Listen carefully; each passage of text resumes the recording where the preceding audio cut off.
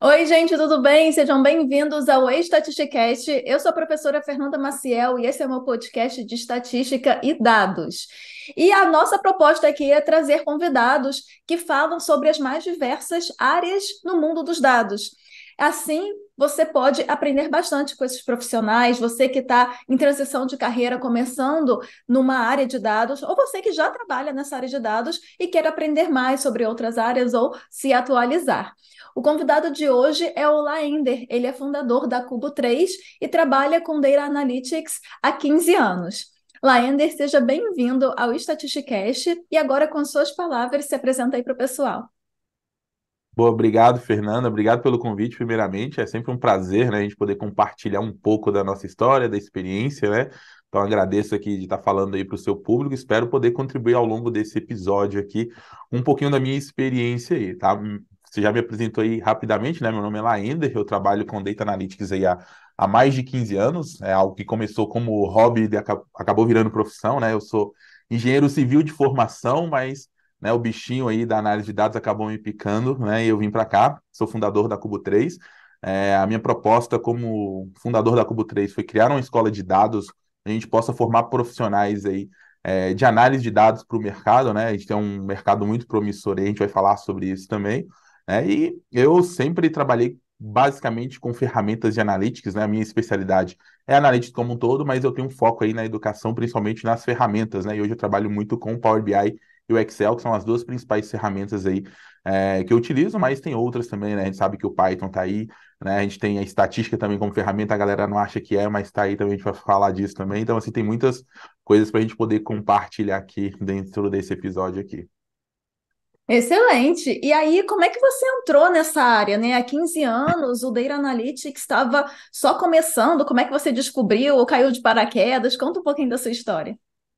Bom, eu, eu meio que falo que foi uma coincidência, assim. Eu vou voltar até lá atrás, porque eu sempre fui uma pessoa que gostei muito de matemática, né? E eu nunca fui uma pessoa é, de.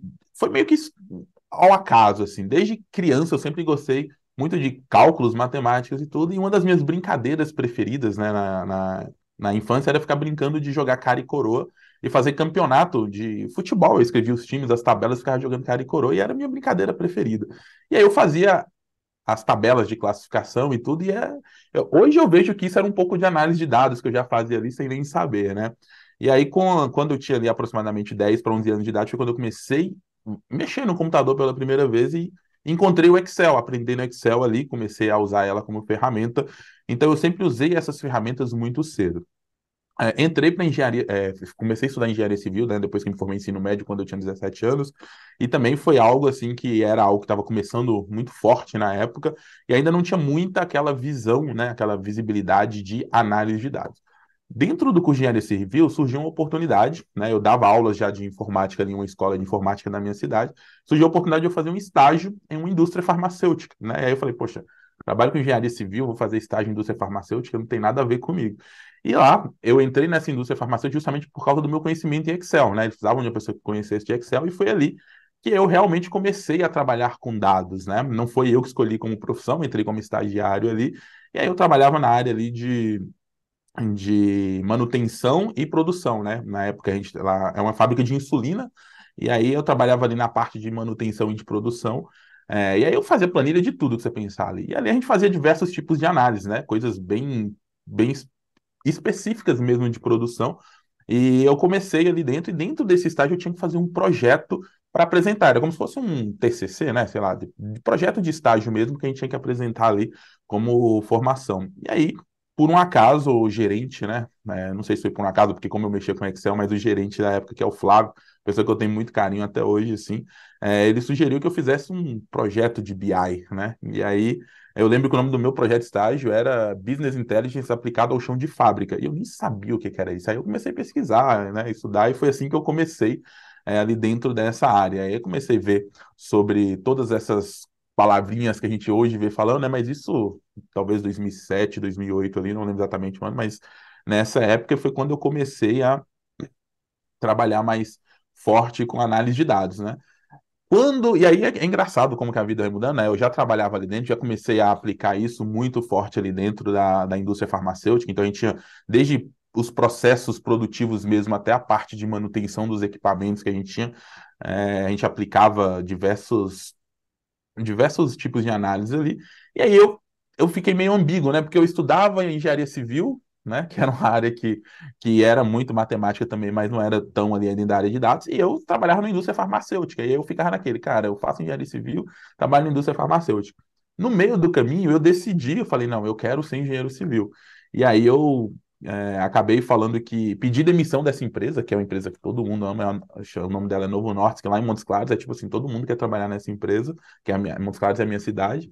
E aí eu acabei é, pedindo demissão dessa empresa para ir trabalhar com engenharia civil.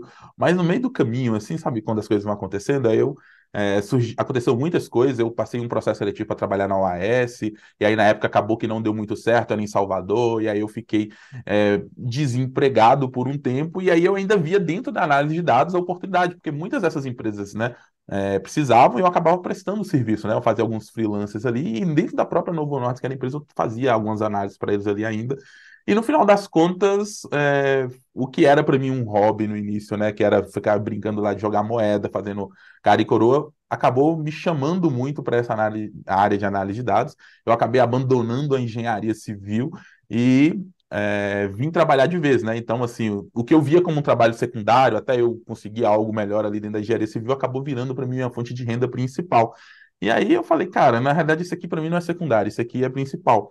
É, nesse período aí, aí surgiram diversos projetos, né? Eu comecei em 2013 um canal no YouTube, quando ninguém se falava ainda de é, Power BI, por exemplo, que é a ferramenta que hoje que eu falo mais, mas ninguém se falava de Power BI, né? Eu comecei um canal chamado Guru do Excel, que eu ensinava sobre Excel, que era a ferramenta que eu utilizava na época, assim, é, muito, e aí eu fui caminhando com digital e prestando serviço, né? Aí eu comecei a prestar serviço para diversas empresas, trabalhei já prestando serviço para Gerdau, para a própria Novo Nordisk, Petronas, diversas empresas grandes aí do mercado, né, com essa é, análise de dados. E aí foi assim meio que uma paixão que, né, veio ao acaso, depois eu por uma sugestão do meu gerente dentro da onde eu fazia estágio, ele me apresentou aquilo, eu gostei, comecei a fazer teimoso ainda, fui tentar engenharia civil, mas no final das contas eu vi que o que eu queria mesmo era trabalhar com dados, então assim, estou hoje aí, né, há 15 anos mexendo com isso, é, e é algo gratificante para mim. Eu não me vejo hoje fazendo algo diferente, né, de, do que analisar dados. Dados está em tudo hoje, tudo que a gente faz, né,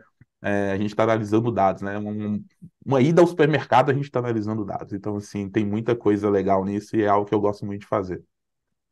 Exatamente. Como é que você começou a parte da educação? Veio do YouTube, da, dos canais do YouTube, você resolveu, ah, não sei, abrir um curso, ter alunos? É, é, na realidade, nem foi o, o, curso, foi ao acaso, né? É, hoje está muito na moda, né? Hoje todo mundo tem um curso na internet praticamente, né? E assim, não, não, não estou falando de forma pejorativa, né? Eu vejo como oportunidade para muita gente, mas quando eu comecei lá atrás, em 2013, eu prestava serviço em diversas empresas e assim todo mundo que presta serviço, principalmente consultoria, desenvolvimento de projeto, sempre tem aquelas pessoas que vê você como o cara que sabe tudo, né? Porque está ali resolvendo o problema e tudo, e é o objetivo, né? Sempre. E aí tinha aquelas perguntas de sempre, né? Como eu trabalhava muito com Excel, sempre tinha aquela galera, ah, como é que faz isso no Excel? Como é que faz aquilo no Excel? E aí a gente sabe que muitas vezes as perguntas são sempre as mesmas. Mesmas coisas perguntando, eu falei, cara, eu não quero ficar respondendo isso toda hora, não. O que, que eu vou fazer? Vou gravar um vídeo e vou mandar para a galera quando a galera perguntar, né? E aí, lá em 2013, na verdade, eu já tinha um blog antes. Né? Eu comecei escrevendo em 2011. Eu tinha um blog do Guru do Excel. Eu não gravava vídeos ainda, eu escrevia artigos. E aí, em 2013, eu me arrisquei a gravar os primeiros vídeos, né? Eu mandava os artigos primeiro para a galera, depois eu comecei a gravar um vídeo. E aí, eu lembro do primeiro vídeo que eu gravei, que foi criando, por exemplo, um gráfico de velocímetro. Nem existia esses gráficos na época, assim, no Excel, né? E aí eu criei esse gráfico, é, e foi um vídeo que estava lá, assim, rodando, começou sem visualizações, 200, né, e ficou lá um tempo, eu gravei dois vídeos, assim, iniciais, e quando eu assustei, eu estava lá com 500 seguidores, mil seguidores, e a gente está falando de uma época, né, que ainda não tinha tanta gente criando conteúdo, né, lá em 2013. E aí aquilo virou um hobby também, né? Então, assim, eu gravava vídeos, não tinha intenção é, de capitalizar aquilo como de, com, com fonte de renda, né? Aquilo era apenas um, um trabalho que eu fazia ali para criar conteúdo, tanto que eu fui vender o meu primeiro curso na internet dois anos depois de criar conteúdo. Então, eu fiquei dois anos criando conteúdo ali gratuitamente no YouTube, sem nenhum tipo de pretensão é, financeira com isso, né? É, só que a galera começou a falar, ah, você não tem curso, tipo assim, naquela época. Hoje tem o marketing digital tá muito forte, né? E eu não tinha a menor noção de como fazer isso. Instagram, eu nem tinha Instagram na época, nem sei se o Instagram estava forte em 2015, né? Mas ali era muito Facebook, tinha a galera, YouTube rodando muito, e eu fazia do jeito que eu achava que era o certo fazer, né? Gravava ali, tinha meus, meu, comecei a vender minha primeira, meus primeiros cursos, né, online de Excel. Eu lembro que eu gravei um curso que chamava 10 gráficos que impressionam, foi o primeiro curso assim que eu que eu vendi na internet, que eu ensinava a criar 10 gráficos diferentes ali no Excel, que pouquíssimas pessoas conseguiam fazer. E aí começou a surgir assim, meio que como um processo natural de desenvolvimento, sabe? Eu comecei a ter os primeiros espectadores, a galera começou a falar, eu falei, por que não? E aí, assim, eu tô pelo menos aí, né, desde 2015 criando conteúdo é, como educação, né? Como fonte. Então, assim, em 2013 eu comecei a gravar os primeiros vídeos, em 2015 eu comecei a comercializar o meu primeiro produto online, assim, né? Como curso. E, assim, é, é algo bem rentável, né? Não dá para falar que não é rentável, então é, virou uma fonte de renda também muito, muito boa. E aí, como eu falei, a gente vai se adaptando, né? Então, o que a gente fazia lá em 2015 hoje não funciona mais. A gente vai se adaptando como empresário. É, já tive, depois disso, diversos outros é, trabalhos, né? Tanto como consultoria, projeto, como educação. Fui convidado para gravar curso para o LinkedIn Learning, né? Então eu tenho um curso de Excel lá dentro do LinkedIn Learning, que hoje tem mais de 150 mil alunos lá dentro. E assim, são experiências que vão somando, né? É, a gente trabalhar com análise E é gratificante por quê? Porque quando eu vejo, né? No início a gente começa ali a fazer aquilo sem muita pretensão, e aí você vê a galera falando, ah, é, você me ajudou muito, fui promovido por causa de, sabe? Tipo, aí você começa a ver isso aí que você fala, cara, Finalmente isso é entendi. Cara, toma, toma uma proporção que a gente não tem noção, sabe? Tipo assim, você tá ali gravando um vídeo. Então, a primeira vez que eu gravava vídeo, eu gravava em casa, com meu notebook, que nem era lá grandes coisas, usava. Pro... Aliás, eu nem usava webcam depois que eu comecei a usar, então no início, assim, eu nem usava imagem, era só tela mesmo do computador. E eu não tenho noção. Aí quando você vai ver nos comentários, e aí vem uma galera, manda mensagem para você e tal, e isso vai aumentando o volume, aí você fala, cara, realmente, você sabe? Parece que a gente não tem a noção. Eu, eu costumo ter um caso muito curioso que eu falo assim, que eu costumo ter noção, que eu comecei a ter, na realidade, que eu acho que até hoje eu não tenho noção, né? Mas que eu comecei a ter noção do impacto que a gente faz, né? Eu, você, pessoas que estão criando conteúdo na internet é, de forma é, verdadeira, né? Simplesmente assim, fazendo conteúdo de valor mesmo. É, é foi um dia que eu estava no aeroporto de Confins, eu estava viajando, estava indo trabalhar, eu estava vindo acho que para São Paulo, eu morava em Minas ainda, estava vindo aqui para São Paulo. E aí eu tava no aeroporto sentado lá, esperando meu voo, mexendo no meu celular, e do nada passou um cara e falou assim: Você é o guru do Excel? Ah, eu tenho que tirar uma foto com você. Eu falei, como assim, gente? Alguém me para no aeroporto para tirar uma foto. E aí foi ali que eu comecei. Eu falei, cara, tem gente que tá me vendo aqui, às vezes, que me conhece, eu não sei nem quem é, sabe? Assim, porque a gente não tem essa noção. Então, acho que foi esses momentos assim que vai é, dando a gente um pouquinho de noção.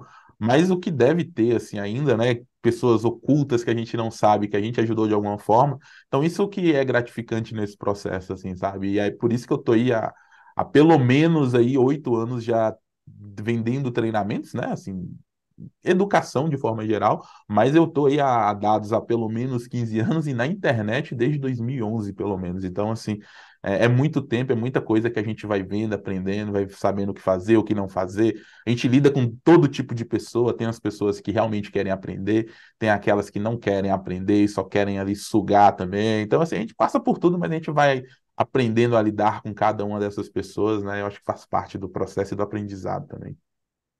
Com certeza. E nesse seu processo, o que que foi, o que que, qual foi o seu maior aprendizado e o que mais te surpreendeu? Bom, eu vou falar de forma geral, assim, porque é, tiveram, né, os, os aprendizados dentro da análise de dados, de forma geral, e também o, como empreendedor e criador de conteúdo na internet, né? Que eu vou separar em, em duas áreas aqui. É, bom, falando primeiro como analista de dados, como data analytics ali, né? Trabalhando com análise de dados de forma geral. É, eu sempre fui uma pessoa muito aberta, né? E eu comecei trabalhando com Excel como ferramenta, só que lá nem sempre eu fui tão aberto assim. Lá no início eu via o Excel como uma ferramenta que conseguia resolver tudo. Para mim, o Excel era o supra-sumo de todas as ferramentas e não precisava de nenhuma outra, né? Era muito apegada a uma ferramenta, e é tanto que o meu canal no YouTube começou com o nome Guru do Excel, né? Então, é, ali eu acho que já tinha uma, uma proposta muito clara que eu ia trabalhar com Excel e pronto, né? E no final das contas, eu, eu comecei a perceber que tem uma coisa muito mais importante do que a ferramenta. A ferramenta é importante, ela é essencial nesse processo de, de desenvolvimento. Uma pessoa vai trabalhar com dados, a ferramenta é essencial. Ela vai te tornar mais produtivo, ela vai te ajudar a resolver muitos problemas, né? Só que tem uma coisa mais importante ainda, que é você saber o que, o porquê você está fazendo aquilo, por que a ferramenta, né? Então é o conceito, é o, é o que está por trás, né? Porque as ferramentas elas mudam. Né? Então, assim, o Excel é uma ferramenta que está aí no mercado há quase 40 anos, né? tem 38 anos de, de história, e é uma ferramenta que é mais velha até que o próprio Windows, né? E tem vida longa com a Microsoft. Mas a gente já viu quantas ferramentas que a gente já viu nascer e morrer no mercado, né? Não se tratando só de Excel. Aí surgiu um Power BI agora, por exemplo, que tem aí desde 2015 no mercado, e quantas que já surgiram e já sumiram, né?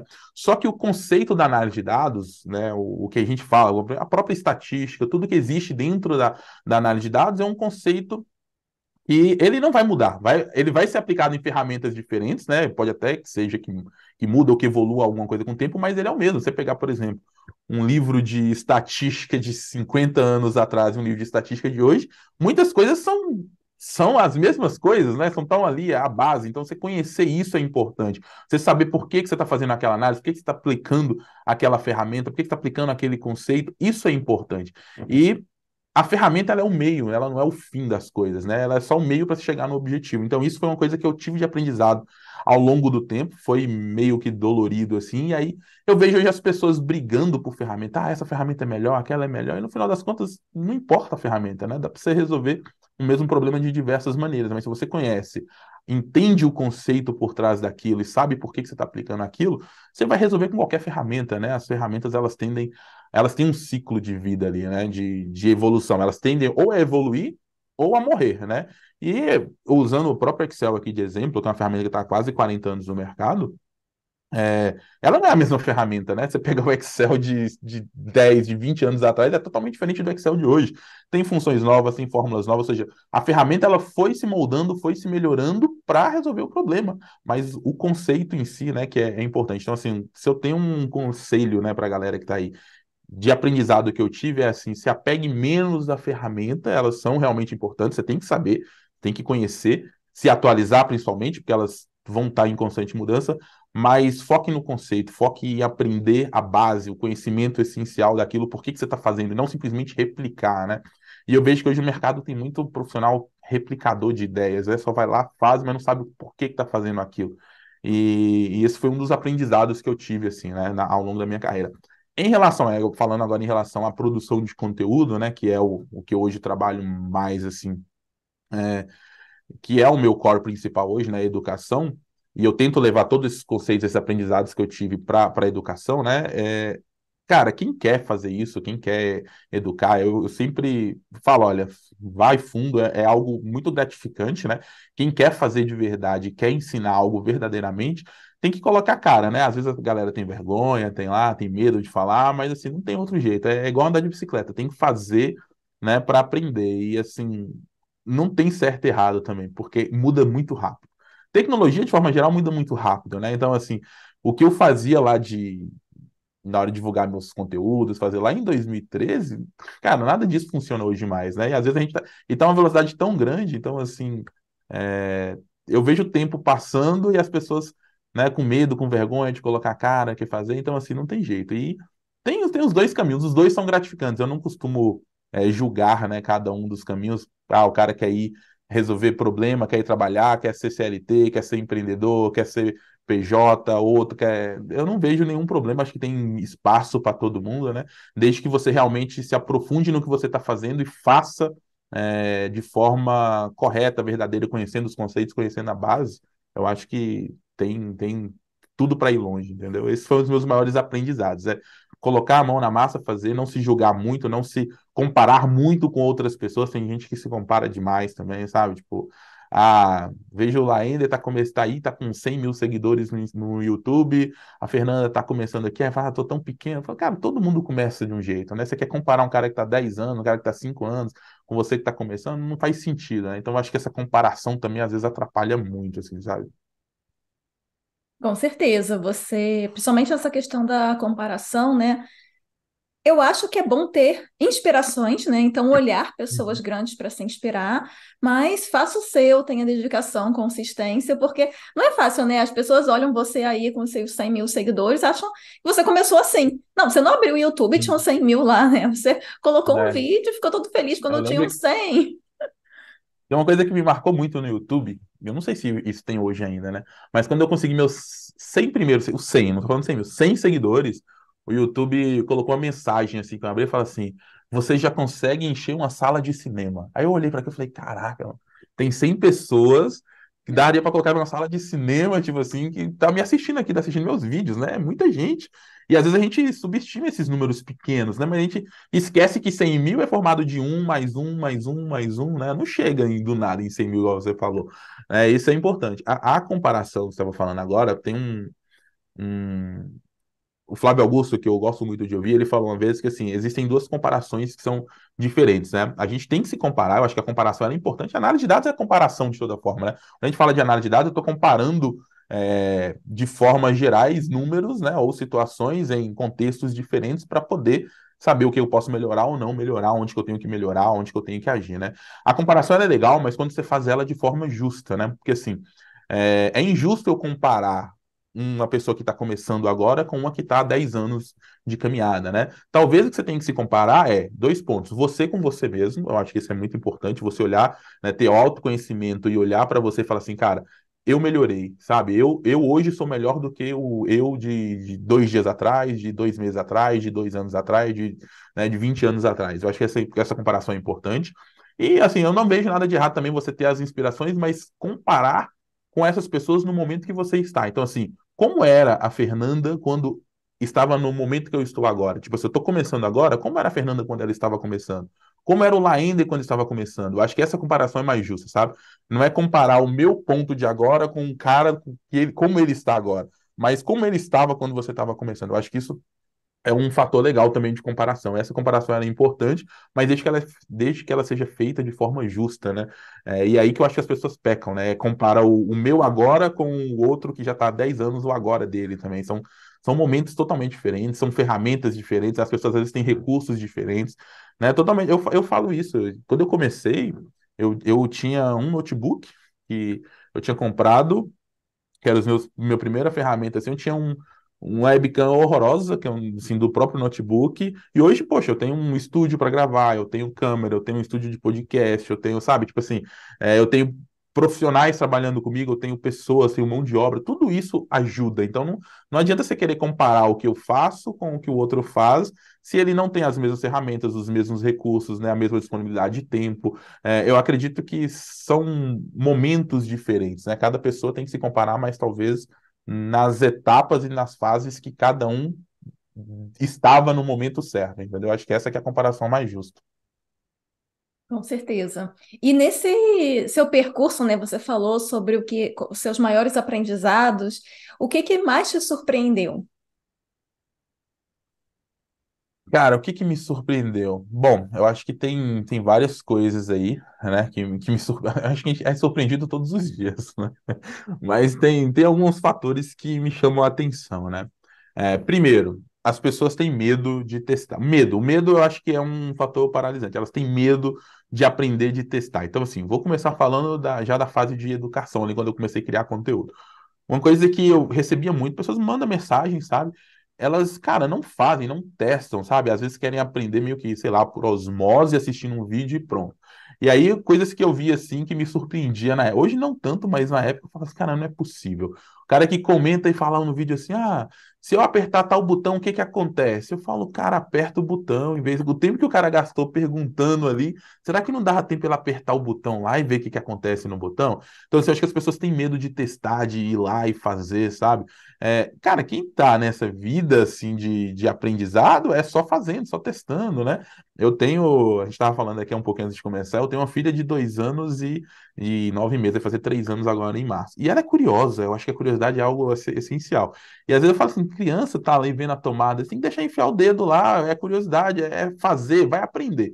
Seja pelo bem ou pelo mal, vai, vai aprender. E assim, não tem experiência, mas não tem jeito melhor de aprender do que fazendo, né? A experiência. Então, assim, você pode ler, pode assistir o vídeo, você pode é, sabe, fazer. Se você não ir lá e colocar a mão na massa, deixa eu fazer, deixa eu abrir o Power BI aqui, tentar montar um modelo, meu dashboard aqui, você não vai, aqui você não vai absorver é, só assistindo um vídeo, sabe? Então, assim, uma coisa que me surpreende é que as pessoas têm, não sei, se medo ou se realmente preguiça de ir lá e testar. Isso é uma coisa que, que me surpreendia tanto né? E aí, só que aí eu comecei a ver que também isso separa muito bem os bons profissionais dos maus, sabe? Aquelas pessoas que, que têm esse, esse medo de ir lá e testar. Mas eu sempre falo, a maneira que eu, um método que eu gosto muito de ensinar nas minhas aulas, eu chamo de método porquinho, né? Que é o método mais, o melhor método de aprender, que é fuçando, sabe? Cara, vai lá, fuça, clica no botão, faz, testa, a melhor maneira de aprender. Então, esse foi uma das coisas que me surpreendeu, assim. E outra coisa que me surpreende muito, né, e a gente já estava até comentando aqui agora há pouco, é que as pessoas não estão mais interessadas em aprender o conceito, sabe? Em aprender o porquê das coisas. É, sabe? Quer simplesmente falar assim, ó, como é que eu faço isso? E não quer saber por que, que aquilo tem que ser feito, né? Só, só quer replicar, tem muito profissional replicador. E eu acho que isso é uma dificuldade, né? Tanto no mercado, e eu acho que talvez no mercado tem gente que fala assim, ah, não consigo recolocação, não consigo é, entrar na área de dados, e o pessoal fala que tem vaga sobrando, mas realmente tem vaga sobrando, né? Só que às vezes o, o, os profissionais capacitados também estão faltando, sabe? E aí eu acho que esse o porquê de conhecer, de saber, de, de como fazer as coisas, independente da ferramenta, sabe? Tipo assim, é, é, é essencial. E aí, voltando para esse meio ainda, eu vejo que tem muitas pessoas que acabam, e é outra coisa que me surpreende de novo, que, que para mim não faz muito sentido, terceirizando a responsabilidade, né? Do, do aprendizado, do conhecer, assim, sabe? Então, já vi casos, por exemplo, de pessoas que viram e falam assim: ah, não vou aprender Power BI porque na minha empresa não usa. Cara, tudo bem, é uma responsabilidade sua, mas você não sabe o que, que você vai estar amanhã, onde que você vai estar, o que, que você vai estar fazendo, sabe? É, se a oportunidade surgir para você ter uma vaga melhor, uma oportunidade em outra empresa que seja que usa, você não vai, você não vai aproveitar porque você, a sua empresa agora você não precisa de Power BI. Então, assim, eu vejo que as pessoas também têm isso. Então, é, essas são as coisas que me surpreendem negativamente, sabe? Tipo assim, pro lado negativo. E tem, obviamente, aquelas coisas que surpreendem a gente pelo lado positivo, né? Então, assim, nesse mundo digital que a gente tem, eu vi que tem muitas pessoas realmente interessadas em compartilhar conhecimento. Isso me surpreende positivamente, sabe? Tem uma comunidade muito legal. Então, tem pessoas que querem se ajudar, que querem é, conectar, né? De verdade, fazer network, né? Que é outro ponto que as pessoas às vezes também subestimam muito, não fazem network, sabe? Então, assim, é, tem, tem uma comunidade muito legal engajada. O LinkedIn, é, quem está ali sempre é, ativamente, tem, tem uma galera muito bacana ali, sabe? Então, assim, é, tem, tem pessoas bem bacanas também nesse mundo que me surpreendem, me surpreenderam positivamente com esse compartilhar, sabe? Compartilhar genuinamente, sabe? De, ah, vou conversar, vou mandar mensagem para Fernanda aqui, mas sem interesse, sabe? Aquele interesse obscuro que as pessoas têm. Então, esse eu vi que tem muitas pessoas é, legais nesse meio, assim, que realmente querem compartilhar. Isso foi uma coisa que me surpreendeu muito positivamente, assim. E eu conheci muito, muitos dos amigos que eu tenho hoje, eu conheci nesse, nesse mundo digital aí, assim, de criação de conteúdo, né? Seja da comunidade Excel, de Power BI, né? Eu vi que tem a comunidade, tem uma comunidade muito forte de estatística, né? Eu, esses, esses dias atrás, esse tempo atrás, eu fiz um podcast, gravei um episódio de podcast com o Thiago, né? Thiago Marques, assim, também, que é, é muito legal. Então, assim, tem uma comunidade forte que vai se formando em cada um desses, né? Que se junta de toda forma, eu acho isso muito legal. Isso é uma coisa que me surpreendeu positivamente. As pessoas, elas têm essa competitividade, mas também, né? Por mais que sejam concorrentes ali, tem uma galera também bem unida, assim, sabe? É, isso é, isso é realmente muito legal, né? Você acaba fazendo a sua rede, né? O, o poder da internet, porque como, como você conheceria essas pessoas na, no mundo real, né? A, a Cara, não eu- ser pessoas no seu trabalho, de repente, que trabalham com você, mas meia dúzia ali, e aí você se Uhum. expande quando a gente está online. Ó, o, o Guru do Excel, né, que foi meu primeiro projeto, assim, mais forte na internet, É, eu, eu- ah, isso é outra coisa, né? Eu, eu tentei várias coisas, tá? Até dentro da engenharia civil. Eu comecei com, com um blog, uma tentativa na época de engenharia civil, que chamava Chão de Obra, que não foi para frente, né? Então, assim, tem muito isso também. Não é porque você fracassou uma vez um negócio ali que não vai dar certo, né? E o Guru do Excel foi meu primeiro projeto, assim, que, que deu certo na internet, né? Que funcionou em 2011 ali para 2013 com o canal. E ele foi quem me abriu grandes portas, assim, sabe? Tipo, muitos dos trabalhos que eu consegui vieram por causa desse trabalho no YouTube. Muitas das pessoas que eu conheci, né, hoje que são que- amigos, assim, que, que eu tenho contato, né, de, de WhatsApp, de mandar mensagem, de, de sentar no bar e tomar cerveja e discutir de Excel, quem faz isso, né? Tipo, é, eu conheci por causa disso, né? Então, assim, tem um, o Michel, que é um amigo, é, eu conheci por causa do Excel. Então, na época eu tinha um canal, ele estava escrevendo, tinha uma página lá no Facebook, eu mandei mensagem para ele, e aí eu lembro que eu vim em São Paulo aqui, a gente se encontrou na Paulista, começamos a conversar ali, trocamos ideia e hoje somos amigos, assim, sabe? Tipo, eu tenho, eu tenho amigos que eu conheci por causa desse meio, assim, sabe? Então, assim, é, trabalhos, muitos trabalhos aqui em São Paulo eu consegui por causa do canal, né, do, do YouTube. É, pessoas próximas, eu tenho conhecidos e trocar ideia, assim, de o João Benito Savastano, nossa, para mim é um pai, né, tá mais com um avô, brincadeira, ele não gosta de chamar de velho não, mas tá mais um, é um pai, assim, que eu conheci, né, cara muito experiente com Excel e tudo, e conheci por causa da internet, sabe? Então, assim, a internet tem, tem essa facilidade de conectar pessoas, né? É, é muito legal.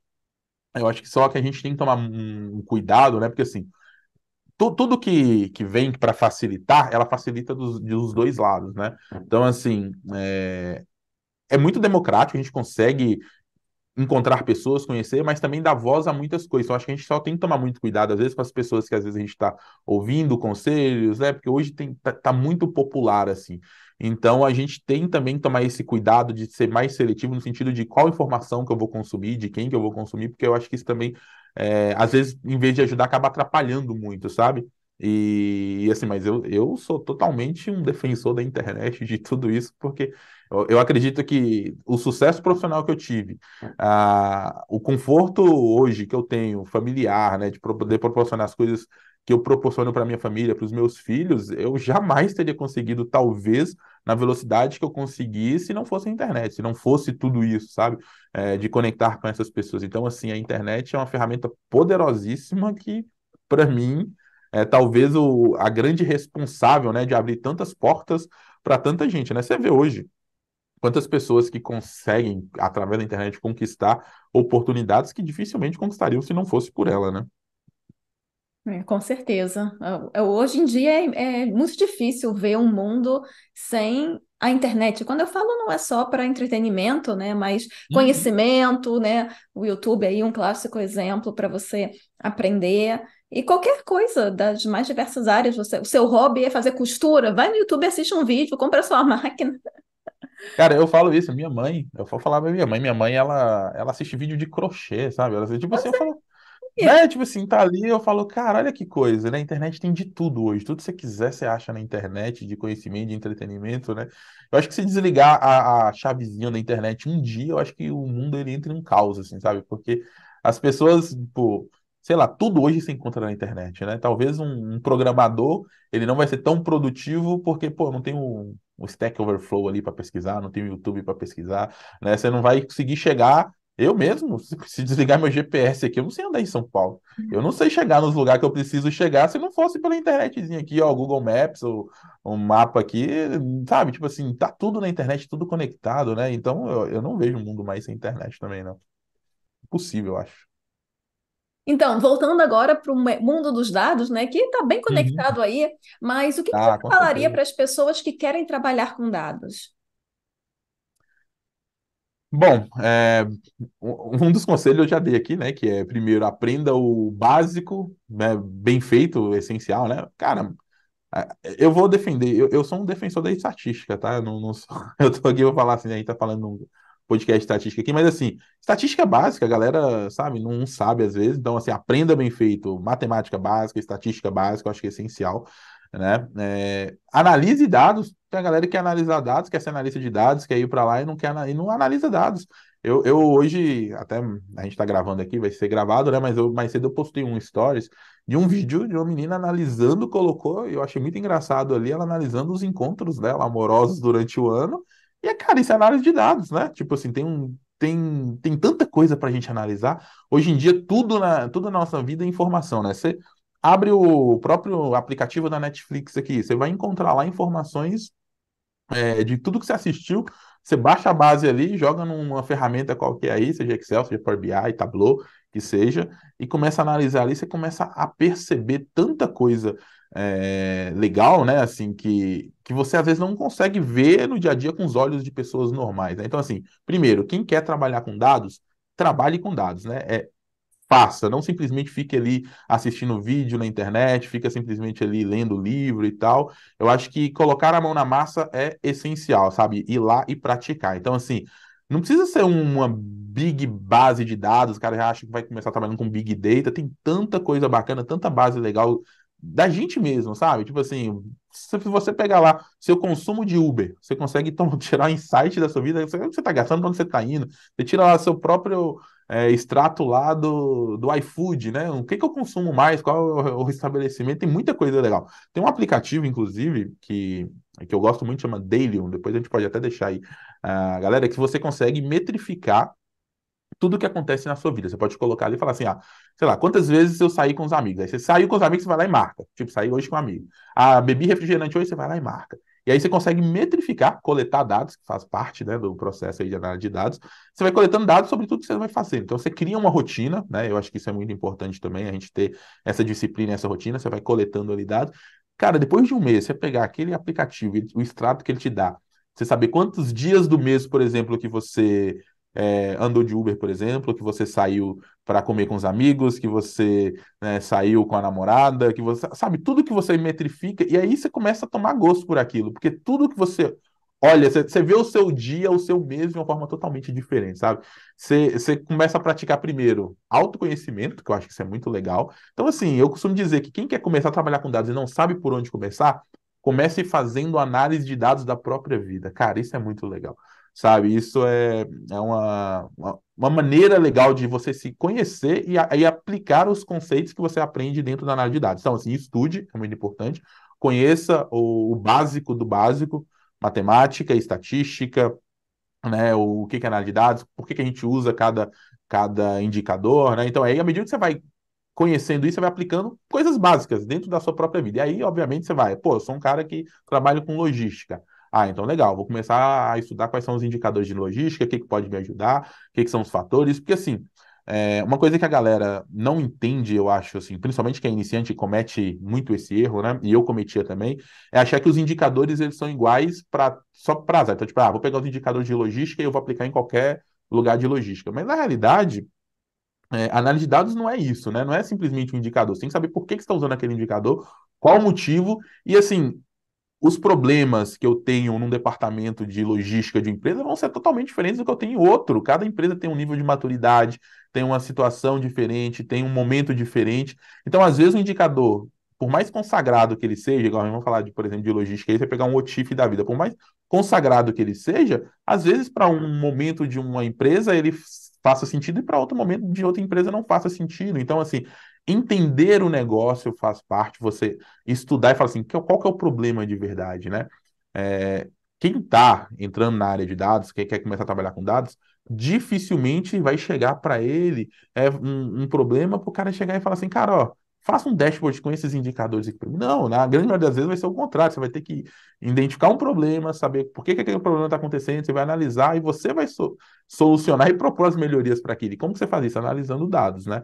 Então, assim, é... por isso que é importante fazer e aplicar, né? entender os motivos em si, e não simplesmente replicar o que a gente vê na internet, né? Então, assim, eu ensino muito a galera a fazer dashboard, ensino a galera muito sobre indicadores e tal, isso é muito importante para quem está aprendendo.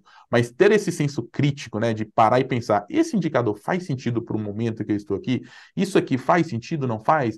Né? Tem indicador que às vezes a própria pessoa vai criar, né? Sei lá, vai pegar as métricas dele lá e falar, bom, deixa eu tentar fazer uma, uma projeção, tentar fazer um, uma correlação das informações que eu tenho aqui para poder ter um indicador de medida aqui que eu vou usar e dentro do meu negócio aqui nos próximos meses criar uma meta para aquilo, sabe? Então assim, não existe o certo exatamente ali o errado de qual indicador usar, tudo depende do negócio. Então acho que ter esse senso crítico, parar, raciocinar, né?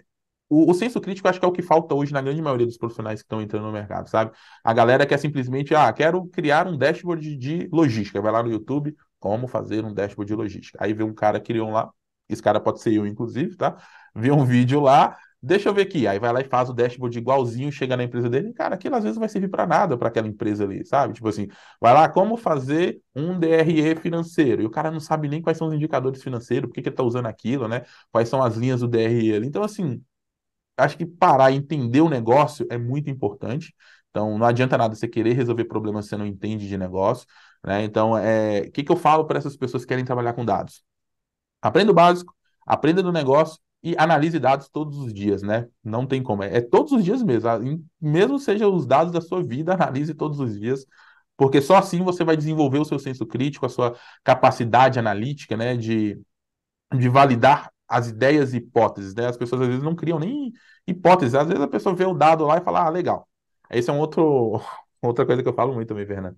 É, tem muita gente que às vezes cria um dashboard e os dashboards das pessoas só tem números, né? Tipo assim, números que eu digo gráfico, ah, sei lá, faturou tanto nesse mês, a, o percentual de a taxa de, de turnover foi tanto e tal. Legal. O que, que serve para quê, né? Tipo assim, é, análise de dados é você olhar para aquilo e falar, legal, esse número está me indicando o quê? Teve uma queda, teve um aumento, por quê? Você ir pesquisar e propor uma solução, né? Por que, que isso aconteceu? O que, que eu faço para esse número melhorar? Né? Análise de dados vem da ação em si, não adianta nada você ter um dashboard bonito com um monte de, eu chamo de constatação, né? O cara constatou que o faturamento caiu. Tá, e aí? O cara constatou que o número de clientes que cancelou aumentou. Tá, e aí? Sabe? Então, assim, eu acho que a prática do dia a dia de você analisar os dados é essencial. E aí dá para você fazer isso com qualquer coisa. Tudo que é lugar, todo aplicativo que você tem hoje, né, tem dado. Inclusive, o Spotify agora está na, na onda agora de final de ano de soltar, né? A gente está aqui, mas você falou que vai em janeiro, mas eu vou falando aqui, tá? Tá com aquela retrospectiva que faz, cara, olha quanta coisa que talvez a galera nem sabia, o gênero de música que ouve, né? Quais são as músicas mais ouvidas, quanto tempo que o cara passou ouvindo a música, quando o cara vê aquilo, ele acha legal, né? E aí os aplicativos dessas empresas estão sabendo mais sobre você do que você mesmo. Por quê? Porque simplesmente eles analisam seus dados. Olha que você vê que coisa, né? Então, assim, é analisar dados, é colocar a mão na massa todo dia e não tem quem quer trabalhar com dados se não trabalha com dados mesmo, né? É fazer. Inclusive, eu até vi um, um meme falando, ah, o Spotify fal é, mostrando o, as músicas, o gênero que eu mais uhum. ouvi, mas o que eu queria mesmo era seria o iFood para ver quantos quilos de comida que eu pedi, quantas coxinhas. Cara, o pior que tem lá, assim, não vou falar quantas coxinhas nem nada, mas no, no iFood lá, você tem o. Dentro do próprio aplicativo, você consegue solicitar o extrato do seu negócio, você consegue saber os, os restaurantes que você comeu, o valor que você gastou, quando você vai fazer um relatório, você sabe mais ou menos por restaurante. Você, aí vai fazer sua, seu trabalho também de análise de dados, né? Nem todos os dados eles vão vir do jeito que você precisa. Então, pô, lista lá os restaurantes, quais são as categorias disso aqui? Ah, comida brasileira, é, esse aqui é sushi, né? Esse aqui é comida japonesa. E aí você lista ali, você vai saber mais ou menos o que, que você está gastando, onde você está gastando, que dia da semana, né? Então, assim, e o legal da análise de dados, né? E aí que é o trabalho do, de novo, a análise de dados é isso, né? Não é simplesmente juntar os dados e somar cruzar informações. Eu falei agora do aplicativo lá que a gente pode metrificar as coisas do dia a dia, então às vezes o cara metrifica lá, olha, é, tem esse relatório do iFood, ele pega outro relatório lá que ele metrificou, e aí ele sabe, por exemplo, que cruzando as informações, que todo dia que ele, sei lá, trabalhou até mais tarde, porque tem como você metrificar lá, hoje eu trabalhei até tal hora, né? Ou eu trabalhei até depois do expediente. Todo dia que ele trabalha até mais tarde é o dia que ele pede iFood. Então o cara começa a correlacionar variáveis e fala: olha, tem uma relação aí. Será que é por que, que eu tô trabalhando mais tarde que eu tô pedindo iFood? Entendeu? Tipo assim, tá, quero economizar com iFood, talvez o cara mudar o horário ali, tentar trabalhar menos um pouco, né, mais cedo, sei lá. Então, assim, correlacionar variáveis é o que faz a análise de dados legal, né? Quando você começa a entender que uma coisa está acontecendo aqui, muitas vezes por correlação com outra, né? Olha, tem uma coisa que acontece que causa isso aqui, né? Aí a gente entra de novo lá, entender conceito estatístico, né? Causalidade, correlação. Eu acho que assim, isso que é legal da análise de dados, né? É você poder pegar todas essas informações e juntar umas com as outras e poder perceber, sabe? Então, assim, tem muita coisa legal que às vezes fica no escuro, você não tem noção, e aí quando você começa a analisar, você se surpreende. Eu, eu tenho certeza que tem gente que pegou essa retrospectiva aí do, do final de ano do Spotify e falou, cara, mas será que eu ouvi tanto essa, essa banda aqui? Será que eu ouvi tanto esse cantor aqui? Não é possível. E tá lá registrado lá que você ouviu 2000. Eu, eu tenho um cara que eu gosto muito de ouvir que tava lá, que eu, tô, eu sou top 0,001% dos fãs que mais ouvem ele. Eu falei, cara, ele tem que pagar royalties de tanto que eu já ouvi ele. Mas é isso aí, sabe? Assim, tem coisa que a gente nem sabe e quando você olha para os dados, você fala, cara, você se surpreende. É muito legal isso. Acho que foi por isso que eu fui trabalhar com dados de vez e não tem, não tem algo que eu mais gosto de fazer do que analisar dados, sabe? Inclusive, esse projeto do iFood é uma ótima sugestão. Você, ouvinte, que, que está querendo fazer o seu portfólio, porque uma coisa que eu sempre falo para os meus alunos, né, tanto da universidade quanto online, é você evitar fazer aquele projeto que todo mundo está fazendo igual. Né, Lainder, você comentou que as pessoas põem no Google dashboard de logística. Aí a pessoa vê um professor fazendo que pode ser você, e ali faz uhum. exatamente uhum. igual e põe no portfólio. Só que o que uhum. acontece é que quem conhece, né, o recrutador, tal, ele acaba vendo que isso é somente uma cópia, né? E tem gente que copia mesmo, inclusive as cores. E é bom sim Tem replicar. né? Fazer igualzinho, exatamente igual. Igualzinho. E, é, e, é, bom, é bom fazer isso, né? É, replicar o que você está fazendo assim que a gente aprende, mas não coloca esse no portfólio, usa só como um, um treinamento. E aí você uhum. faz. Para o portfólio, o ideal é você, você você tem um portfólio para quê? Para se diferenciar. Então, para uhum. você se diferenciar, coloca uma temática que não é não está tão manjado por aí. E olha aí essa sugestão.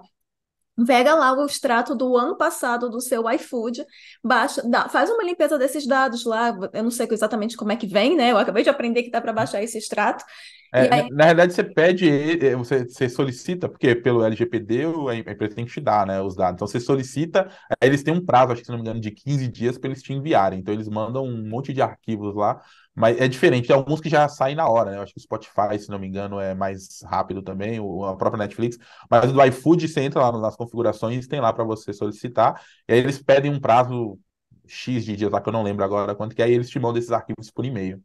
Pois é, e aí você pode né, trabalhar na limpeza desses dados, já está ganhando aí um, uma habilidade e vai escrever sobre isso no portfólio da limpeza que uhum. você fez e tudo mais, e é a sua própria análise.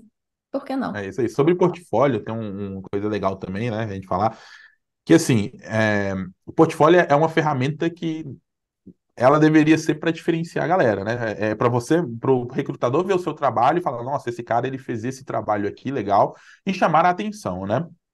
Só que assim, chamar a atenção tem que ser algo diferente, né? Lembra, tem, tem a história da, da vaca roxa, né? Então, assim, tem que ser algo muito diferente para que chame atenção. Quando todo mundo está fazendo a mesma coisa, vai passar despercebido, porque o recrutador, às vezes, ele já viu tanto portfólio com aquele mesmo dashboard manjado que todo mundo está fazendo, ele vai simplesmente ignorar e passar em frente, né? A parte do aprendizado, e assim, e aí as pessoas têm que entender e, de novo, ter o senso crítico, né? É, requer que você replique as coisas no início, né? São, são níveis de maturidade diferentes. No início, você vai pegar e vai fazer exatamente igual, para aprender, para entender, conhecer a ferramenta. A partir daí, você vai começar a desenvolver suas próprias análises. Não foi a análise que o Laender ensinou lá no YouTube que vai ser ela que vai te diferenciar. Ela foi importante para você entender como é que funciona a ferramenta, como é que você aplica aquele recurso, como Praticar. é que você faz essa análise e tudo mais. Né? E esse, é, esse é um ponto importante. Só que na hora de fazer né, o portfólio, você tem que fazer algo diferente, né? Teve um, um aluno também que eu entrevistei, que é o nome dele é o Gustavo Kitagawa. Depois, se a galera quiser pesquisar, ele é muito legal também. Ele, ele trabalha hoje na Gol. E aí, que, olha para você ver como é que é interessante. Ele fez um, um portfólio, né? Dentro do portfólio dele, ele estava fazendo o processo seletivo da Gol e ele falou: legal, vou fazer um, algo aqui para no meu portfólio para diferenciar. E ele fez isso durante o, o processo seletivo, tá? Ele pegou e foi no, no, procurou alguma base de dados da Gol, né? Ele queria fazer coisa de avião e tal, mas disse que pelo tempo que ele tinha era muito difícil. Aí ele foi e achou, eu acho que lá na própria ANAC lá, dados de reclamações né, das companhias aéreas. Ele foi lá baixou a base da Gol e fez um portfólio com a identidade visual da Gol, um portfólio, não, um dashboard, né, com a identidade visual da Gol, muito clean também, nada neon, nada aquelas coisas muito coloridas, né, fez usando a identidade visual da Gol, analisando as, as, as reclamações que a Gol tinha desde a época um pouquinho pré-pandemia, 2019, passando pela pandemia, né? E aí ele fez a comparação e aí que tá o diferencial. Ele fez uma análise crítica e colocou os motivos dele lá. Olha, teve um aumento das reclamações durante a pandemia, né? Ele cruzou essas informações, colocou quais eram os motivos, quais eram é, os maiores índices de reclamações, e foi fazendo essas comparações ali, quantas foram respondidas e não, e simplesmente postou isso lá no, no perfil dele, né? Durante o processo seletivo. E olha que legal, né? A Gol percebeu, né? Aí estava lá participando do processo seletivo e isso não sei se, obviamente, foi a única coisa que chamou a atenção, mas ele acabou conseguindo uma vaga lá dentro para trabalhar na Gol. Hoje ele trabalha dentro da área de dados lá dentro da Gol. Né? E assim, por quê? Porque ele simplesmente fez algo diferente. Ele pegou uma análise, pegou os dados da Gol, fez lá um, um relatório que ninguém está fazendo isso, ele foi lá e fez. Isso chama atenção, né? Então, eu acho que ter essa, essa diferenciação, né? Não simplesmente colocar no portfólio aquele dashboard que você fez durante a semana, Power BI lá, é, é importante para você aprender, mas é importante que você tenha esse senso crítico, né? É, senso crítico, análise crítica, né? É, ela é uma das principais habilidades que o analista de dados precisa ter. Né? O cara ele tem que parar e pensar, analisar dados de verdade. E é importante que você também exercite isso, né? Então, na hora de montar o portfólio, isso é muito importante, né? Ter essa diferenciação, sair, né? Do que mais do mesmo do que está todo mundo fazendo para que as pessoas te, te vejam né, de forma diferente, né? Então acho que isso é uma dica bem legal também. É, para a galera, às vezes, né, ser chamada mais dos processos seletivos aí, para entrevista, talvez está faltando, seja mais essa diferenciação, assim, sabe? É, estudar, praticar, as mãos na massa, né? Você falou, é muito importante.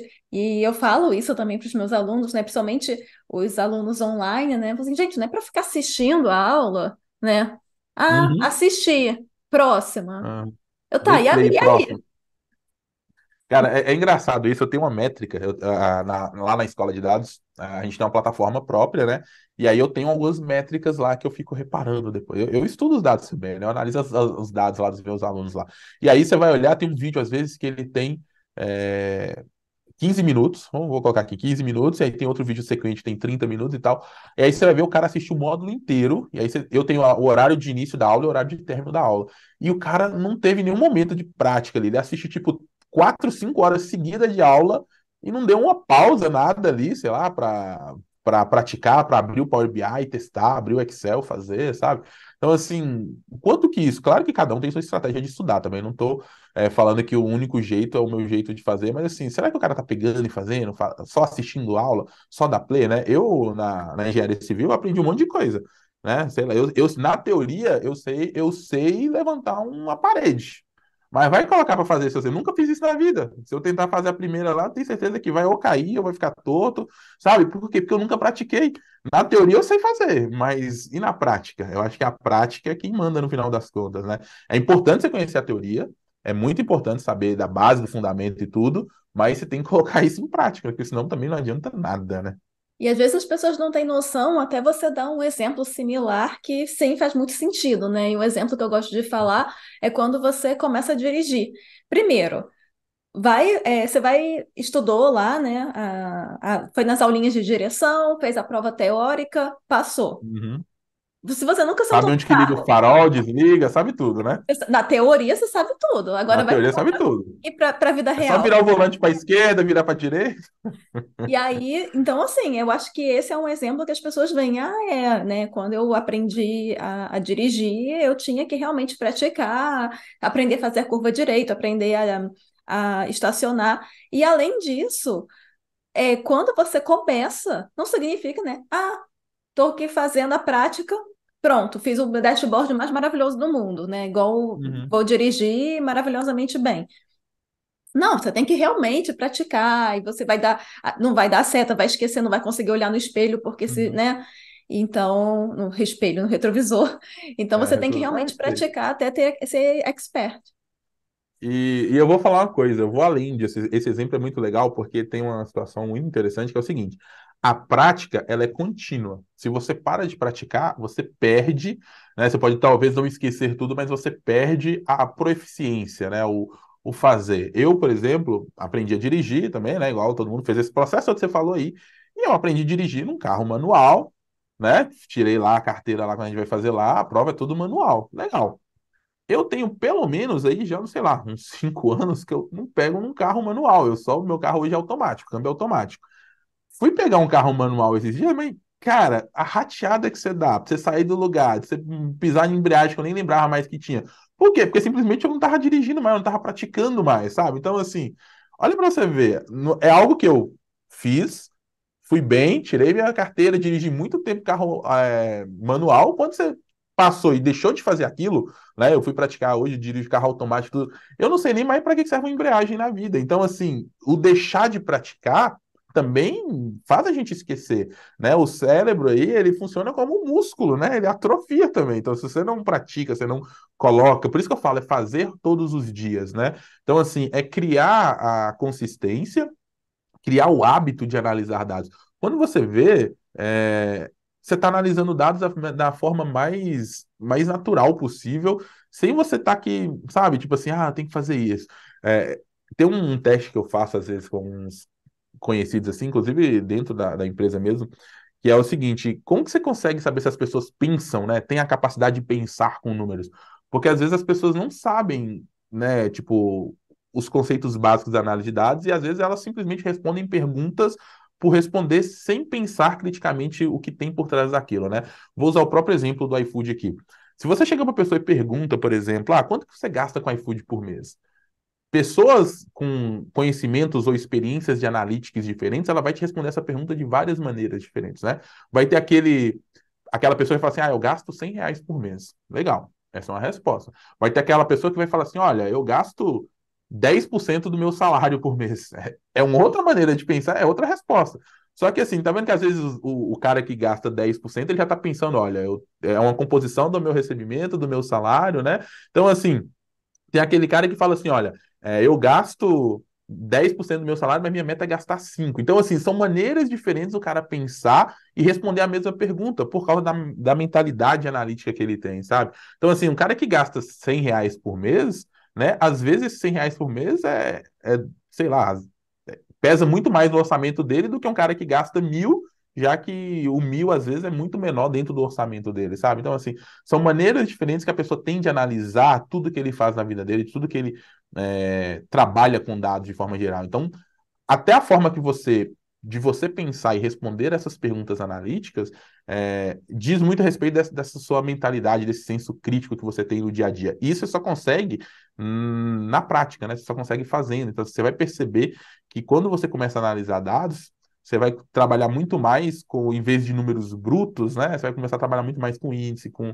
com correlação, com várias coisas. E isso você só consegue na prática, assim, sabe? Exercitando quando você vê, você nem, você nem tá pensando mais nisso, você tá fazendo naturalmente. É igual dirigir, né? Então, lá no início, você não pensa assim, ah, vou passar marcha, vou acelerar, vou, sabe? Tipo, você pensa muito, depois você não pensa, né? Você vai, fica natural. Então, é a mesma coisa. Eu acho que é, essa prática é essencial para ajudar você pensar é, de forma mais analítica, sabe? Exatamente. E né, ultimamente, né, vem se falando que esse mercado de dados é, estagnou porque tem as demissões em massa e não não está conseguindo emprego, como você falou, né? É, o que, como é que você enxerga esse mercado? Está crescendo? Está estagnado? Como é que você vê? Olha, na realidade, assim, é, são perspectivas diferentes. Eu vou falar para você, eu recebo pelo menos uns 10 inbox todo mês de proposta de trabalhar no exterior, de gente, sabe? Tipo assim, mesmo que eu nem esteja procurando. Então, eu não vou falar para você que, que não tem espaço, tem muito, tem muita vaga, está crescendo, é, as empresas estão criando consciência. Cara, a maioria das empresas ainda hoje tem, não trabalha com dados, sabe? Tipo, a galera tá falando de inteligência artificial, de machine learning, tem a galera que nem analisa dados ainda, sabe? A consciência analítica, a maturidade das pessoas trabalharem, né, de ter aquele pensamento orientado a dados ainda é muito inócuo ali, às vezes é, é muito pequeno ainda, sabe?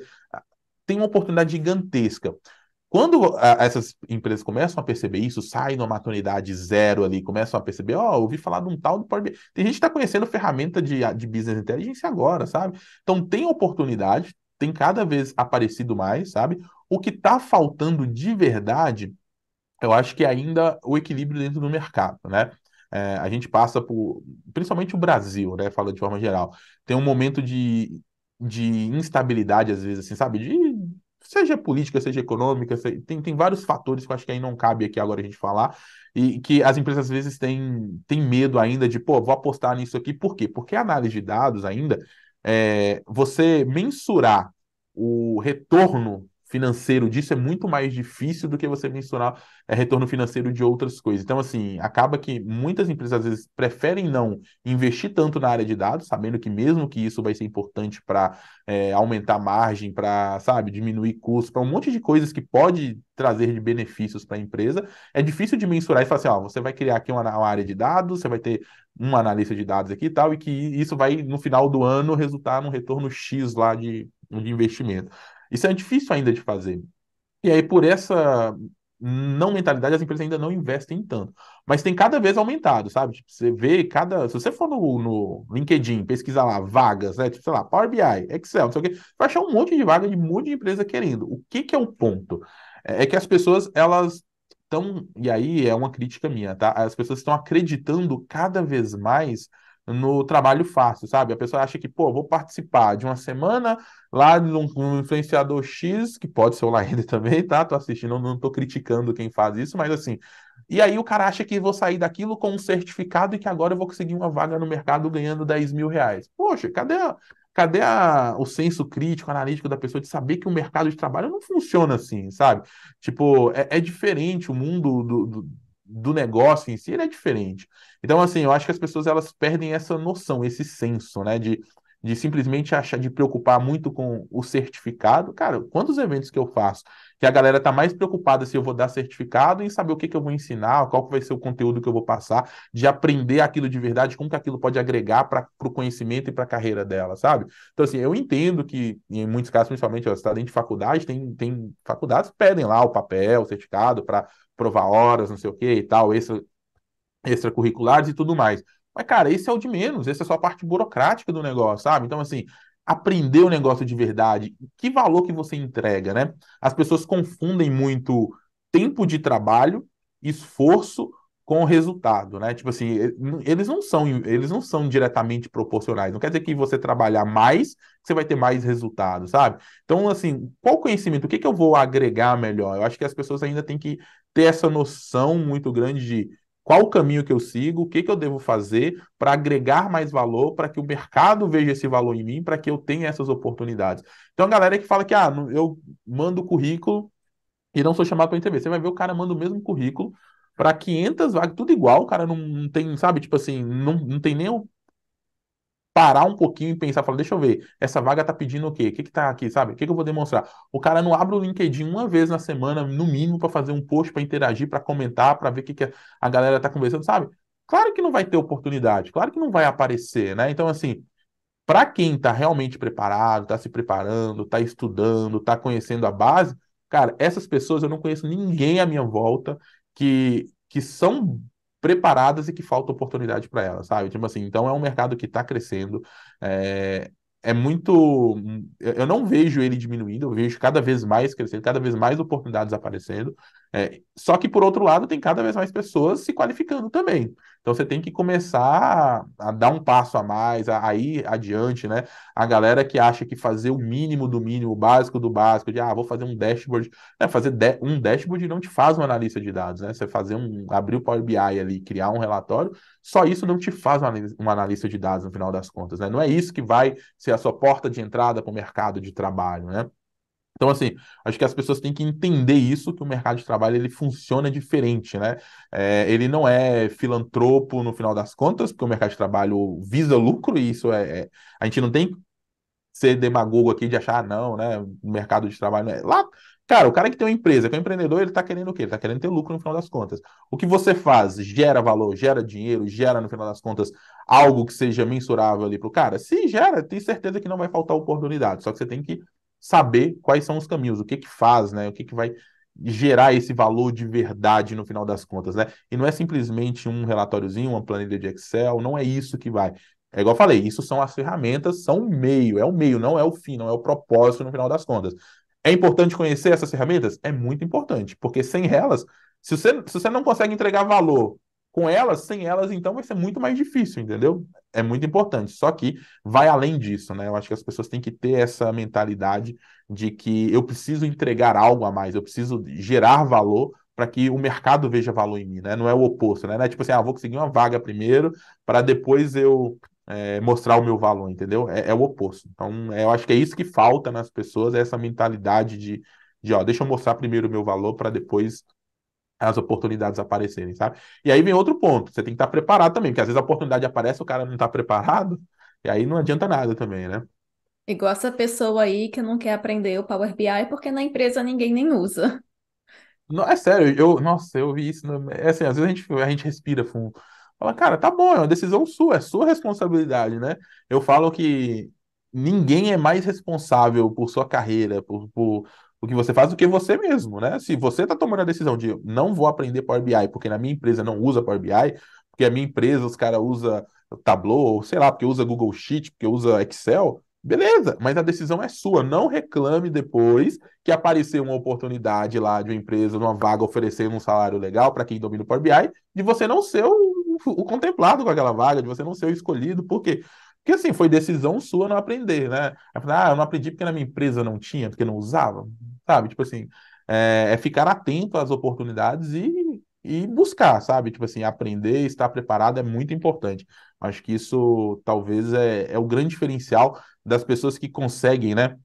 Uma oportunidade atrás da outra. Igual eu falei, meu, meu inbox, pelo menos eu recebo pelo menos 10 mensagens de recrutador todo mês, né? E olha que eu não estou buscando. Eu tenho, eu tenho minha empresa, eu tô ali, eu não estou buscando, mas tá lá, todo mês a gente mandando mensagem, né? Perguntando se, se eu não tenho interesse nisso, mas assim. E olha que eu não estou fazendo tanto, estou fazendo o quê? Estou fazendo meu trabalho, estou mostrando meu valor, tô, sabe? É isso que vai fazer diferença para a pessoa. É você mostrar o valor primeiro para que o mercado veja valor em você, né? Inclusive, em relação a isso, uma outra coisa que as pessoas parece que não pensam muito é assim, quando você é, procura um emprego, tal, tem uma empresa contratando, a, a empresa ela não está te contratando para te dar dinheiro.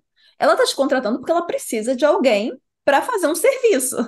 Então, ela uhum. quer contratar a melhor pessoa que pode fazer aquele serviço. Então, ela posta uma vaga, ela busca né, os profissionais, faz todo o processo seletivo.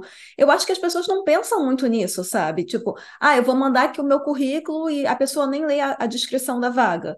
E aí, quando o recrutador está lendo o currículo, tem nada a ver, tipo assim, mas por que, que essa pessoa mandou assim? Cara, isso aconteceu, ó, eu vou falar como, como empresário e como pessoa que já recrutou pessoas para trabalhar, né? Então, assim, eu tenho empresa e eu já abri vaga de, sei lá, vaga, não estou falando de vaga de analista de dados, eu abri a vaga, por exemplo, de assistente administrativo, de uma pessoa para ajudar no administrativo da empresa. Eu recebia currículo de tudo que é tipo e de tudo que é, sabe, tipo, a galera não mudava nem a decisão, tipo, eu recebia currículo de design gráfico, que o cara às vezes está mandando ali. Beleza, se o cara está querendo, ele está disposto a trabalhar naquela vaga, tá mandando, mas, cara, o mínimo do mínimo, o cara precisa, sei lá, se adaptar o currículo para aquilo que ele quer, para aquela vaga, para, sabe? Tipo assim, não é um atirar para todo lado, né? Tem o, a diferença da, é, da eficiência, da eficácia, né? Do cara saber, cara, o que, que eu vou fazer? Onde, se você minimamente focar em algumas vagas, focar em algumas coisas que você quer e saber onde que você vai dar seu tiro, gastar pouca munição, mas ser mais certeiro, eu acho que é muito melhor do que sair atirando para tudo que é lado, né? Aí você fica frustrado, porque o cara vai lá, mandei mil currículos esse mês, tive uma resposta. É claro, sabe? Tipo, não tinha nada a ver, o cara às vezes ele sai na própria, no próprio filtro, né? Tipo, não tem empresa que nem, nem consegue ver todos os currículos, né? Porque vai ter uma inteligência artificial filtrando, vai ter um filtro ali, né? Porque é assim, às vezes tem, tem muitas coisas que acontecem, né, nesse sentido. Por exemplo, quando eu vou, eu, eu tenho trabalho presencial aqui. Então, se eu vou contratar alguém, eu vou procurar alguém que está aqui próximo da minha região, né? E aí, às vezes está lá vaga, né? Tipo, trabalho presencial, região de São Paulo, por exemplo. Aí tem um cara que me manda o currículo lá do da Bahia, por exemplo, sabe? Tipo assim, eu entendo a necessidade de tudo, mas aquilo ali provavelmente num filtro, de simplesmente eu colocar ali região São Paulo, aquele currículo nem vai aparecer para mim, entendeu? Então, tipo assim, são, são essas coisas que eu acho que as pessoas têm que é, ficar atento e ser mais assertivo, de, de, de, fazer uma análise. Olha, a análise de dados sem tudo, é analisar, sabe? Tipo, as coisas, por que eu estou fazendo isso aqui? Não simplesmente fazer por fazer, sabe? Eu acho que é, é aquilo que a gente falou, se esforçar demais, né, fazer muita coisa, não necessariamente quer dizer que vai te trazer resultado. É, é o, é o 80-20, né? Vamos focar nos 20% aqui que vai dar mais resultado do que sair fazendo um monte de coisa aí que não vai dar resultado no final das contas, sabe?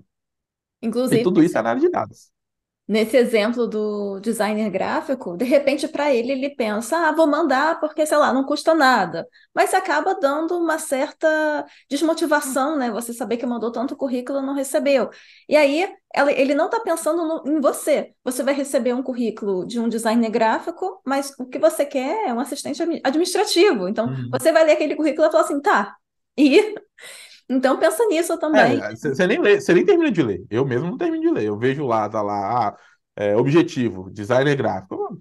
Beleza, tchau. Não é essa vaga, entendeu? É eu já descarto, então assim, nem, nem leio. Então, é, é, essas coisinhas, assim. Isso a gente está falando de uma maneira general, né? De uma maneira geral, né? Generalista, assim.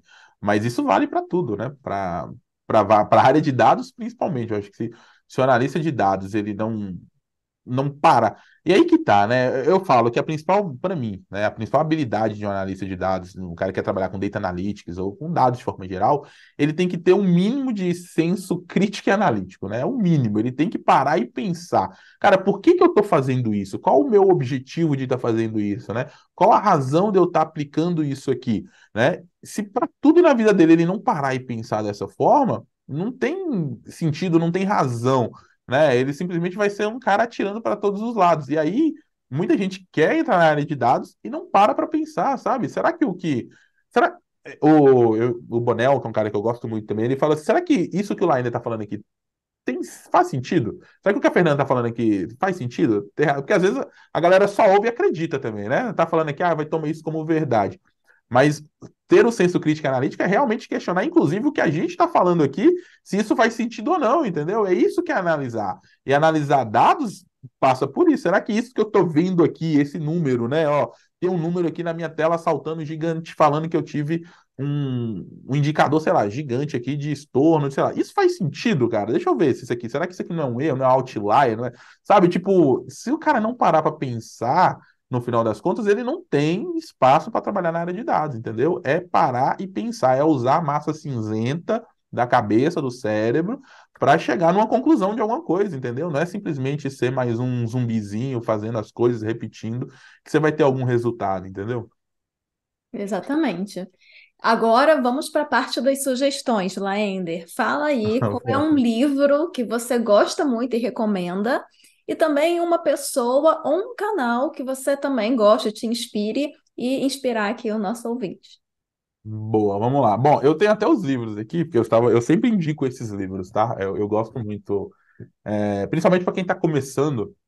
Provavelmente até você já deve ter indicado eles também várias vezes, né? Tem inclusive um post lá no meu Instagram que eu fiz exclusivo para esses quatro livros que eu sempre gosto que foram os livros para mim que abriu a minha mente assim lá atrás de, de maneira de como enxergar, alguns nem são tão velhos assim, mas que me deu uma visão mais crítica e analítica em algumas situações, tá? Eu vou até mostrar aqui, ó, que esse daqui talvez já tenha. Esse livro para mim é o, o Andar do Bêbado. Eu gosto muito desse livro. Ele é pequenininho, cara. Se o cara sentar e ler esse livro aqui, ó, em um dia, sabe? Tipo, ainda mais quem gosta de ler. É, eu gosto muito desse livro porque ele abre a mente a gente de entender, principalmente estatística, análise de dados, assim, de ver as coisas mais criticamente, né?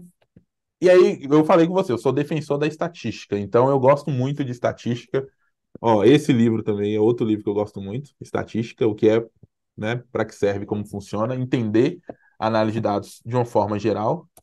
Como mentir com estatística. É eu tenho esses quatro livros, assim, eu ando com eles de lado, assim, porque eu sempre indico. Eu, talvez eu seja um dos caras que mais compra esses livros, porque sempre que eu tenho que dar de presente para alguém, eu dou esses livros de presente. e tenho o Storytelling com Dados, que eu acho também muito legal, da, da Cole, que é muito bacana. Esses quatro livros aqui, inclusive, eu já fiz um post sobre eles. É, todo evento que eu faço online e que eu dou livro de presente, eu sempre dou esses quatro livros, porque para mim são os livros que eu acho que o cara que parar e ler esses quatro livros aqui, ele vai ter uma visão da área de dados, principalmente de analytics, de uma forma geral, muito diferenciada, sabe? Então, se você me pedir indicação de livro, para quem quer começar, vai ser esses quatro livros, para quem já está ali e tal, vai ser esses quatro livros, porque são livros para mim que mudou a minha cabeça, assim, de forma geral, de, de entender a área de dados como uma forma, e não são livros muito cansativos, né? Tem uma leitura legal, tem uma leitura simples, assim, de de ler. Então, são esses as minhas quatro indicações, assim. Agora, de pessoas, aí talvez eu tenha uma lista, sabe? Tipo, é, tem, tem muita gente boa na internet que não tem muitos seguidores, sabe? Tipo, estão lá começando, tem uns um canalzinho pequeno e tudo. É, mas tem, tem algumas pessoas que eu. E aí depende muito, tá? Eu, por exemplo, um cara que eu gosto muito de ouvir, eu falei que não é da área de dados, mas que, que eu gosto de ouvir falar, e principalmente de negócio, é o Flávio Augusto, né? Que eu, aí eu tô saindo um pouquinho. Mas dentro da área de, de dados, tem várias pessoas, tá? Tem o, o Theo Calvo, que é um cara, ele tá, ele parou um pouquinho de fazer conteúdo agora, mas ele tá voltando. É, tem, tem, por exemplo, o Cláudio Bonel, que é outro cara que ele é meio é carioca também, mas é, é, eu gosto muito dele, né? Ele fala um pouquinho de. Tem a boca suja, mas é legal ouvir ele falar. É muito legal. Então, são pessoas que me inspiram, sabe? Que são dessa área de dados, que, que são pessoas que estão entregando de verdade conteúdo assim de valor, sabe? Sem. Não é só mais aquele negócio de, sabe, ah, vou fazer isso aqui para vender mais um curso, pra... sem se preocupar com o que o cara tá aprendendo, sabe? Então, assim, por isso que talvez essas pessoas nem tenham tantos seguidores assim, sabe? Porque é, nem todo mundo, e aí entra outro ponto de novo, nem todo mundo quer ouvir a verdade, né? Às vezes as pessoas querem ser iludidas também. E essas pessoas, assim, o que elas falam, pelo menos eu gosto muito de ouvir, sabe? Então são pessoas que, que me inspiram, assim, que eu tenho, principalmente o Boné, é um cara que eu tenho como amigo, assim, e gosto muito. É, acho que são isso, assim. Tem, eu teria uma lista depois, assim, pra gente fazer. Agora de cabeça, assim, eu posso até sair, ser injusto de citar um ou outro, assim, não citar. Mas depois, se puder, a gente faz, eu faço uma listinha, assim, das minhas indicações. A gente pode deixar aí na descrição do vídeo, alguma coisa assim. Acho que seria legal. Com certeza. Então, vai ficar tudo na descrição aqui. E agora, Laender, é a hora do jabá. Convido o pessoal para conhecer, né? Quem não te conhece ainda, conhecer o seu conteúdo, os seus cursos. Fala aí das suas redes sociais. Legal. Bom, é, eu estou criando conteúdo. Eu sou um cara mais do, do YouTube, né? Então, eu me criei no YouTube. É, só, meu nome não é muito difícil. Se você digitar Laender aí no YouTube, você já vai achar meu canal. É, é youtube.com barra arroba Laender, né? Com dois N's. É, em todas as redes sociais ser lá ainda. A vantagem de ter um nome diferente é que você acha seu, seu nick, seu arroba em qualquer rede sem, sem ter outra pessoa, né? Então, Instagram, mesma coisa, só pesquisar lá, arroba Lainder lá também que você vai achar. Tô criando alguns conteúdos lá no Instagram, tô me forçando mais colocar lá nessa rede social, não é a rede social que eu sou muito ativo, mas lá eu tô tentando ter um contato mais próximo com a galera, né? E é, eu tenho a Escola de Dados, né, que é um projeto novo que eu estou desenvolvendo agora, que a, gente está criando algumas formações ali para a galera é, aprender sobre análise de dados de forma geral, entender, aprender as ferramentas. Eu trago alguns professores também para falar de soft skills ali, que também é muito importante nessa área, né? Então, assim, a galera às vezes que é técnica, que, que é muito mais técnico e gosta dessa área, esquece às vezes das habilidades, né, das competências é, interpessoais ali, de soft skills e tudo mais. Então, também é falar de comunicação, né, e tudo mais. É, eu estou trazendo uns professores também para falar ali dentro da escola. Então, eu sempre abro turmas ali, né? A galera que tiver interesse também em conhecer um pouco mais sobre esse trabalho, é só acessar. É, lá nas minhas redes sociais mesmo, a gente fala muito sobre isso também, tá? Ou então escola-de-dados.com, que a gente tem lá o, a lista de espera, se não tiver com vaga aberta lá para a galera entrar, tá? Então é um projeto novo aí que eu tô, é, desde agosto começamos, né? Então vai, tem seis meses aí mais ou menos.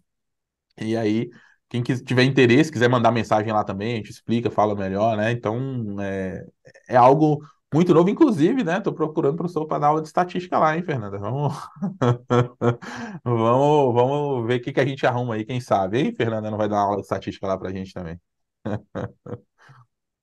Ah, então é isso, os contatos vão ficar todos aqui embaixo. Laender. É, e tem o LinkedIn, né? Tem o LinkedIn também, é só da mesma coisa, é só procurar Laender, né? A galera vai me achar lá. Isso aí, bota na Laender, mas vai estar aqui embaixo também para facilitar. É, é, quero, quero, agradecer a sua participação aqui. Eu gostei muito dessa conversa, né? De saber a sua história, que eu não sabia, e também uh, todas as sugestões, as dicas que você deu. Concordo muito. O livro, então, para deixar claro, gente, não foi combinado. Esses livros estão aqui atrás. Eu também estou é, eu tenho... um dos que eu mais indico. Eu, eu sempre ando com eles, é engraçado isso, porque eu sempre indico eles também. É, com certeza são livros que você pode ganhar bastante conhecimento, né? Tipo, um dia você termina um livrozinho, uhum. ganha bastante conhecimento. Laender, muito obrigada pela sua participação, tá? E para o pessoal, até a próxima. Obrigado, tchau, tchau. Tchau.